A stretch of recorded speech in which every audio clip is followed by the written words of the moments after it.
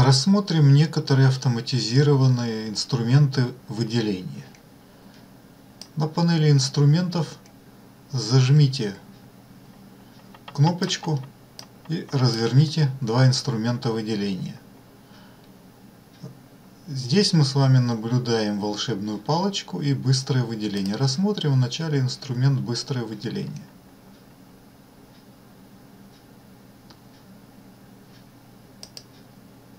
Этот инструмент имеет форму кисти, соответственно, есть возможность задать параметры кисти.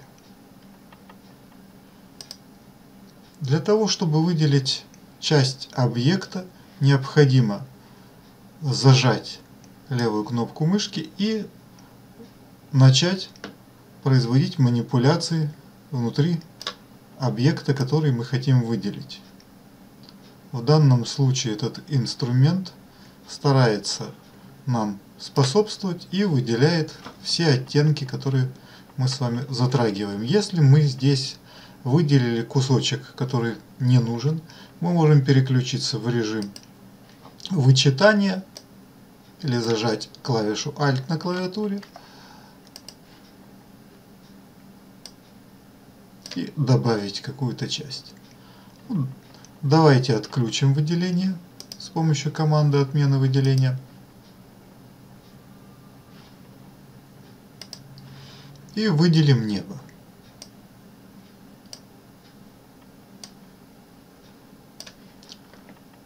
Первую часть выделили, выделили вторую часть, переключились в режим э, вычитания выделенных областей или зажали клавишу Alt на клавиатуре и а, не, наоборот. Вот эту часть нужно добавить. А вот эту часть уже можно вычесть. Значит, в палитре слоев, допустим, мы с вами преобразовываем фоновый слой в обычный и удаляем эту часть для того, чтобы воспользоваться, допустим, вот таким вот небом и установить его в качестве небо на данное изображение.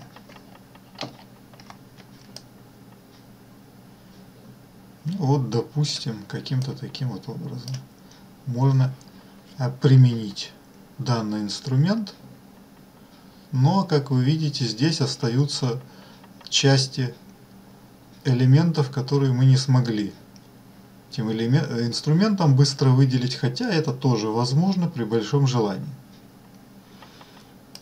Рассмотрим следующий вариант использования данного инструмента. Допустим, нам нужно выделить вот заданного хомячка. Опять-таки с зажатой левой кнопкой мышки мы с вами проходим по контуру заданного объекта и выделение происходит достаточно быстро. Если нужно убрать лишние части, которые выделились. Зажимаем Alt на клавиатуре и убираем лишние части. Ну, таким образом инструмент быстрого выделения позволяет достаточно неплохо выделять сложные объекты. Копируем и вставляем, допустим, его куда-то сюда. Конечно, он не доработан, мы не дорабатывали края.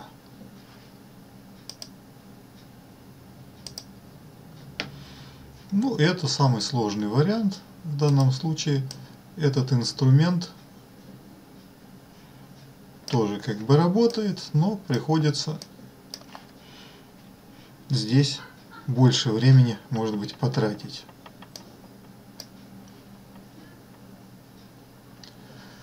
Также в данном инструменте на панели атрибутов сверху существуют переключатели.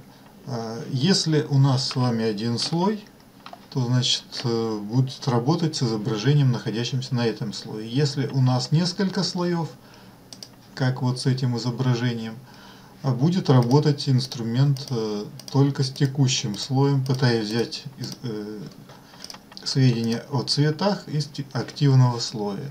Если необходимо работать со всеми слоями, ставим соответствующий переключатель в активное положение. Усиление автоматически существует для того, чтобы а, края выделенной области соответствующим образом немножечко более сильно захватывать. Значит, у нас есть в этом инструменте, кроме трех режимов работы, создания, добавления областей, вычитания областей, кроме того, что есть параметры формы инструмента, а два интересных, две интересных команды. Команда а, «Выделить предмет» появилась начиная с версии Creative Cloud 2018. Это автоматическая команда, которая позволяет выделить наиболее существенные, по мнению разработчиков, часть на изображении. Как работает данная команда? Мы активируем данную команду, после чего а, происходит анализ документа. Этот процесс может быть достаточно длительный. А, на выявление наиболее характерных частей вот в данном случае мы получили выделение автоматизированное полностью. А, и мы видим, что в общем-то автоматизированное выделение оказывается зачастую а, намного лучше, чем тот элемент, который мы вручную а, с помощью мышки выделяли. Ну и вариант, допустим, когда у нас вот такой вот пейзаж – В данном случае, конечно, может быть немножечко хуже распознавание образов, но, как мы видим, достаточно хорошо. Только вот эти элементы по краю, по краю были не захвачены. Опять-таки, а, пушистые объекты выделять достаточно затруднительно. Но мы всегда можем воспользоваться командой выделения предмета, дождаться анализа. Понятно, чем более четкое, чем более качественное изображение, чем оно больше, тем а, анализ может занимать немножко больше времени. Вот, но тем не менее, достаточно неплохо данный инструмент работает. Также к команде, а, ну, кстати, вот мы можем посмотреть, как будет работать на пейзажном изображении, когда нет явных выделяющихся объектов, которые можно было бы выделить. После проведения анализа таких а, изображений а, Photoshop выдает соответствующее нам диалоговое окно, где говорит, что не удалось распознать объекты на текущем изображении. Вот. Значит, э, также эту команду select object или выделение объекта можно а, активировать, э, не находясь в, инстру... в данном инструменте, с помощью меню выделения, выделить предмет. Срабатывает та же самая команда, производится анализ изображения, наиболее характерные объекты будут выделены на этом изображении.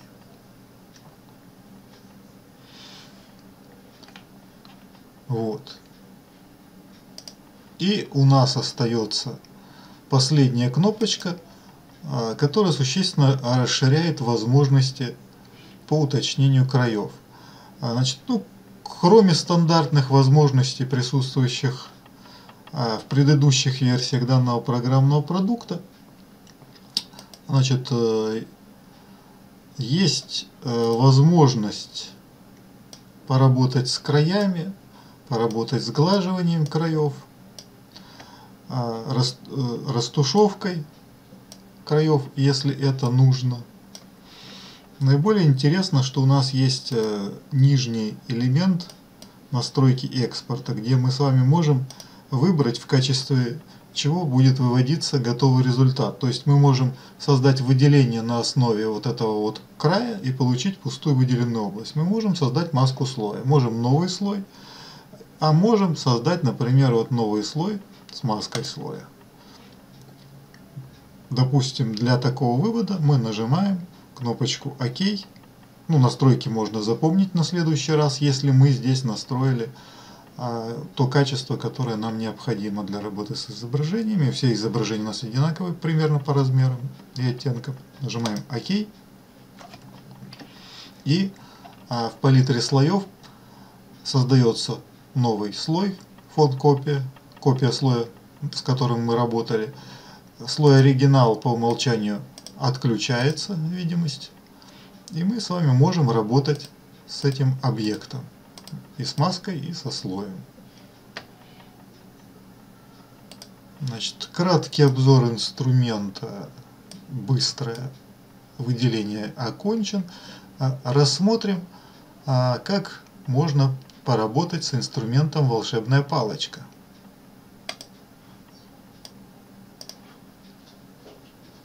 Инструмент волшебная палочка.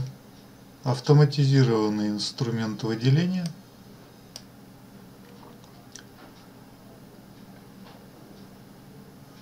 Посмотрим панель атрибутов сверху, мы видим 4 режима работы.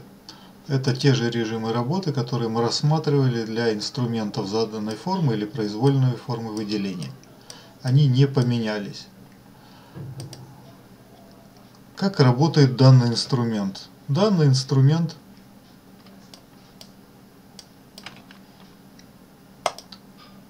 а, выбирает цвет, на который мы щелкаем мышкой, и на изображении а, одинаковые оттенки этого цвета выделяются.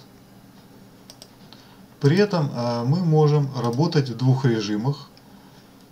Эти режимы переключаются вот этим вот переключателем смежности пикселей. Если стоит переключатель смежности пикселей, значит мы будем замкнутый контур выделять по цвету.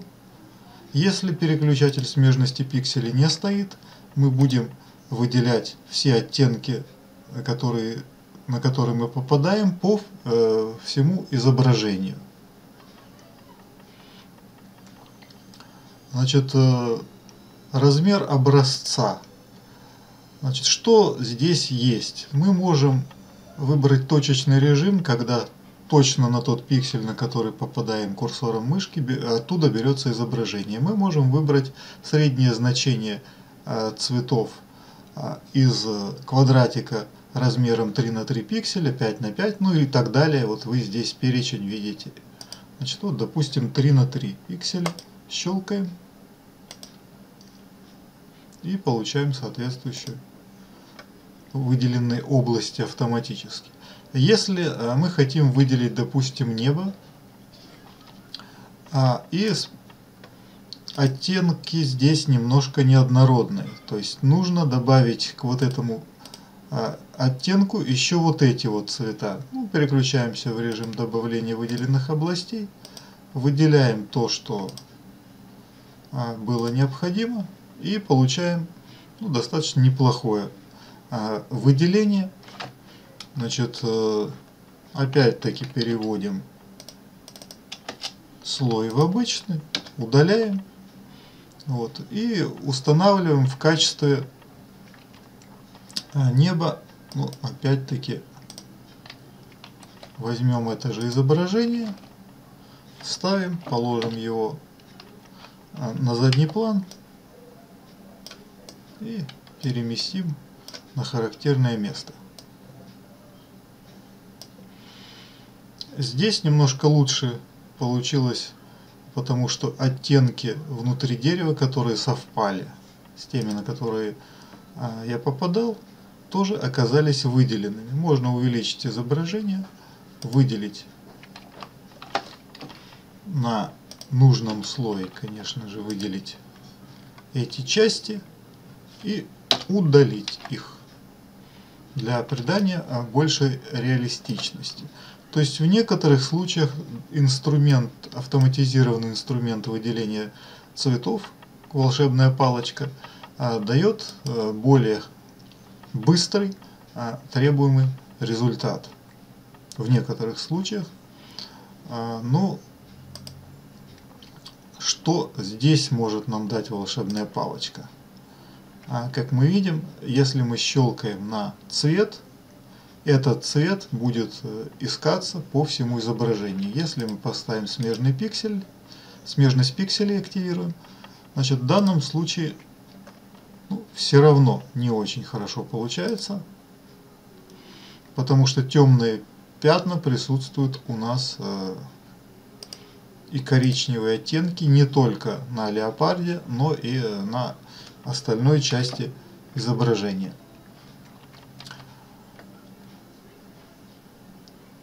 Чтобы это изменить, чтобы изменить чувствительность данного инструмента, мы можем воспользоваться э, настройкой которая называется допуск. Она измеряется от 0 до 255 а, и задает количество оттенков, которые а, будет выделять данный инструмент. Ну, а, например, нам необходимо выделить оттенки желтого вот здесь вот. Значит, мы поставим значение ближе к нулевому, для того, чтобы те цвета, на которые мы будем попадать, выделялись. То есть на фоне каких-то оранжевых оттенков будут э, выделяться только такие же оттенки. Если же нам хочется, чтобы больше оттенков и цветов здесь выделялось, Ну, мы ближе к сотне ставим данный элемент. И в таком случае мы э, видим, что не только вот эти вот оттенки розового и зеленого выделяются, но и остальные цвета тоже будут захватываться. Для точного выделения цвета мы значение уменьшаем, для того, чтобы цветовой охват увеличивался и больше оттенков бралось мы этот э, допуск увеличиваем до 200, до 255 в случае надобности.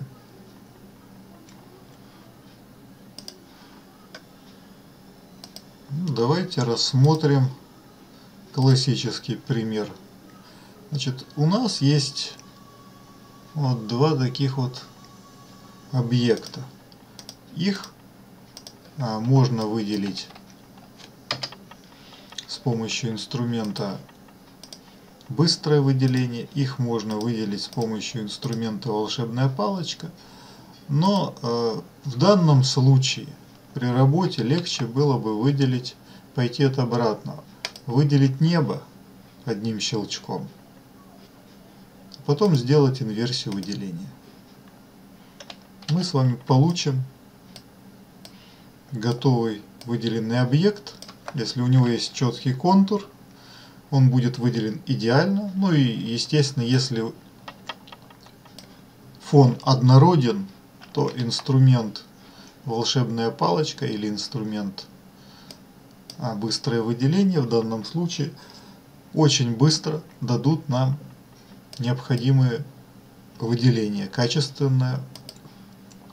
Значит, есть переключатель сглаживания, который обрабатывает края. Есть переключатель для работы с всеми слоями. Если у нас есть несколько слоев, мы их можем использовать. Ну, опять-таки, здесь нет слоев нескольких. Значит, э, опять присутствует эта же команда выделения объекта, которая автоматически анализирует изображение на наиболее характерные выделяющиеся контуры и выделяет а, объекты автоматически после анализа изображения.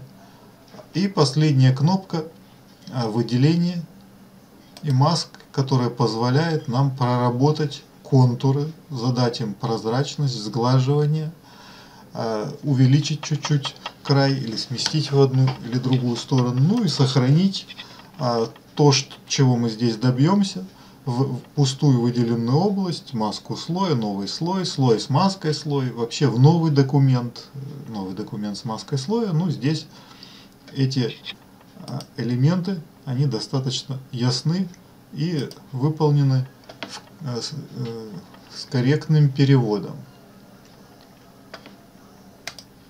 Рассмотрим следующую команду автоматизированного выделения цвета в изображении, которая называется команда выделения цветового диапазона. Она имеет диалоговое окно. Прежде всего э, у нас есть возможность из выпадающего меню выбрать тот цвет, который мы автоматически хотим выделить. Например, желтый. Здесь чуть ниже расположена небольшая миниатюра, которая обычно в оттенках серого показывает а, выделенную часть белым э, и не выделенную часть черным в нашем изображении. Ну, конечно, можно выводить и изображение, но в таком случае э, можно переключиться на просмотр в градациях серого на самом изображении, а здесь будет миниатюра в цвете. То есть это простые а, графические настройки, которые ни на что как бы особо-то и не влияют. Вот. Ну, мы вернемся в исходное состояние, когда само изображение у нас не тронуто, а в миниатюре отображается в оттенках серого а, та часть, которая будет выделена. Ну давайте посмотрим, а, что будет выделено, если не совсем понятно с миниатюры. Вот, желтые цвета, они оказались выделенными, которые в миниатюре подсвечены светлыми оттенками. Ну, можно выбрать зеленый цвет и посмотреть, что будет выделено а,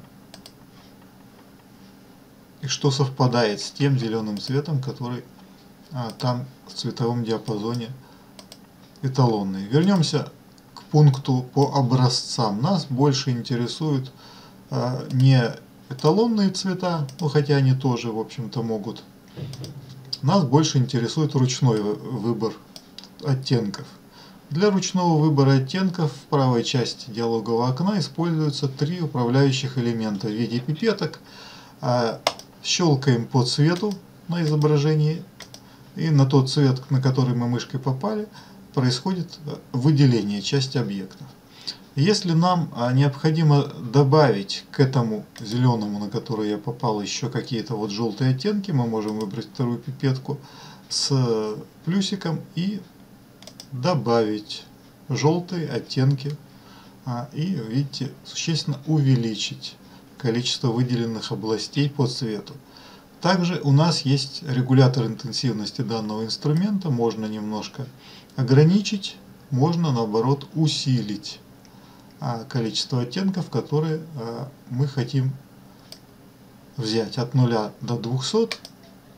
И вот такое вот выделение достаточно интересное, достаточно быстро мы сами можем получать с помощью цветового диапазона. Ну, инверсия это обращение. То, что было выделено, стало не выделено и наоборот. Вот. Э, кроме того, есть две кнопочки для загрузки и сохранения настроек э, вот этой вот палитры. То есть мы каким-то образом повыбирали цвета, настроили эту интенсивность, которая здесь разбросом называется, оттенков. И сохраняем э, в текстовый файлик настройку сохраняем текстовый файлик, настройку а, этой палитры. Ну а далее, э, если это необходимо, потом можем а, на другом изображении загрузить эту настройку и а, будут выделены вот эти вот цвета, которые мы здесь используем. Значит, ну достаточно неплохо может цветовой диапазон тоже использоваться для а, выделения наших пушистых вот этих вот объектов.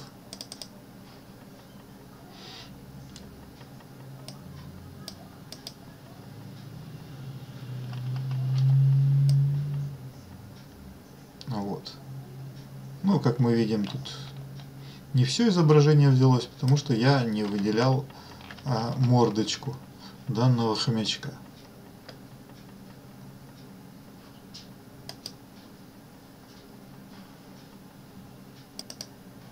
Ну и последний автоматизированный инструмент выделения, который мы сегодня рассмотрим, это область фокусировки. Данный инструмент выделяет так сказать, наиболее четкие грани. Чем-то он похож на автоматизированный инструмент выделения объектов, но здесь у нас есть с вами возможность как-то регулировать то, что будет выделено. Значит, э, ну, во-первых, э, на каком фоне, то есть что будет убираться, я, допустим, сделаю черненьким фон, чтобы было понятно, что мы э, вот эту часть а, выделили в данный момент с помощью этого инструмента. А если мы хотим, чтобы туда входила какая-то часть большая, ну вот кусок неба, мы можем доработать вот кисточками. Это такой вот ручной режим, то есть можно убрать кисточками, можно добавить этими соответствующими кисточками. Вот. А можно область фокусировки регулировать э, диапазоном. Если мы к нулю поставим, то посчитает, что ничего хорошего тут в общем-то нет. Если в другую сторону мы потащим, значит, соответственно, а, ну, все будет удаляться, кроме того, что мы здесь с вами вот навыделяли. А, в автоматическом режиме обычно, если галочку поставишь, он э, в диапазоне троечки находится. Значит, э, ну, вывод информации, выделенной в виде выделения возможен точно так же. В данном случае у нас выделилась нижняя часть. Мы можем инвертировать выделение, если мы хотели работать э, с небом, допустим, да, каким-то образом. А, достаточно неплохо получается выделение. Если а, поработать, ну, допустим, с этим изображением области фокусировки, мы сразу получаем достаточно интересное изображение.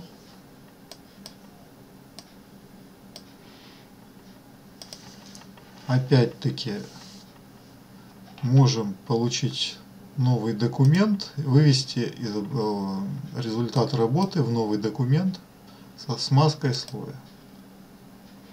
Вот мы получили интересное изображение.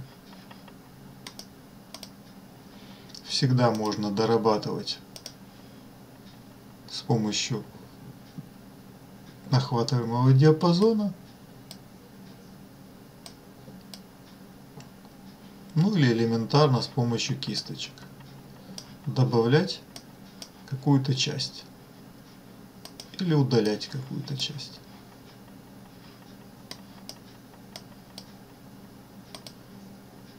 Вот. Ну, достаточно простой, достаточно новый, а хороший автоматизированный инструмент. Благодарю за внимание.